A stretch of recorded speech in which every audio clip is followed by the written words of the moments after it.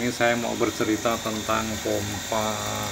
Mungkin pompa ini diproduksi uh, waktu anak saya belum lahir. Bahkan mungkin saya masih muda. Atau saya pun belum lahir ya. Jadi pompa paling bandel sedunia. Eh, mereknya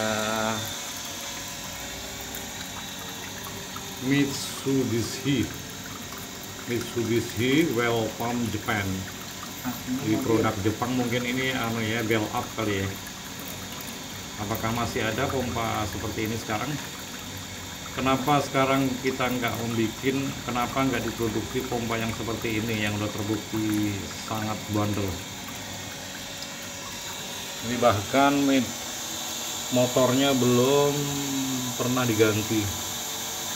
Selama saya ngerawat ini bahkan bearingnya pun belum pernah diganti desain yang sangat simple konstruksi yang tebal dan babet yang berkualitas tinggi. Kenapa seperti ini? Ini ada kebocoran karena kurang kenceng aja pancingannya